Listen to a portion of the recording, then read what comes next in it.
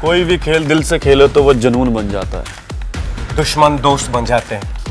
Haters fans बन जाते हैं। जब पूरा देश एक साथ खेलता है। खेल जो भी हो।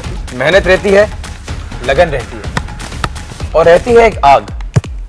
एक खुली आज़ाद आग। क्या होती है ये आग? जो खेलते हैं वही जानते हैं। फ्री फायर इंडिया इंडिया का battle royale out on fifth September